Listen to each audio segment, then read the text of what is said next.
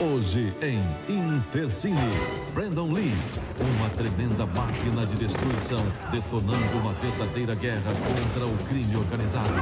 Rajada de Fogo, hoje, depois de A Justiceira em Intercine.